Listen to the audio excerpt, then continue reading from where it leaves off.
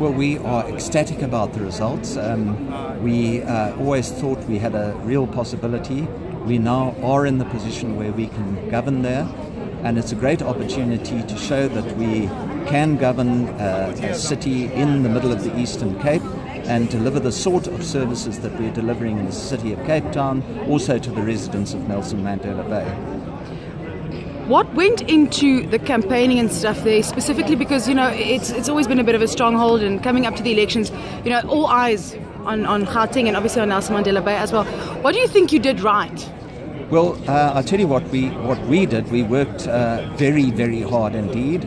Uh, we tried to uh, make personal contact with as many voters as possible to tell them about uh, what the Democratic Alliance uh, offer was, uh, and this campaign has been going on now for about 18 months, which is why so many people are so tired.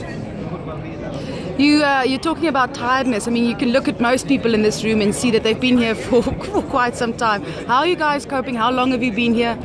Well, we've been here since the beginning of the week, um, and uh, we've been here pretty well, uh, I suppose, 18 to 20 hours every every day, um, and uh, we are sustained by the adrenaline, by coffee, and by the excitement of the results. And talk to me a bit about uh, coalitions. Yeah, well, um, in many of the municipalities concerned, uh, we will have to form coalitions. Uh, we are in discussions with various political parties. We're analysing as the results come uh, out with whom we would have to make a coalition in order to govern.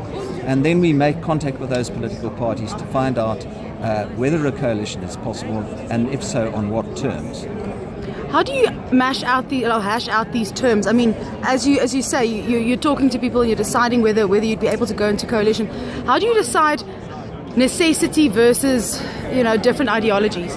Well, happily, this is a municipal election and not a national one. So, uh, for the most part, municipal elections are about water and electricity and roads and good services. Uh, so, it is possible to talk to people technocratically rather than ideologically. That's not to say that ideology doesn't play a role, uh, but one is able to concentrate on deliverables, and where one agrees on those deliverables, one is normally able to uh, form a coalition that is sensible and sustainable.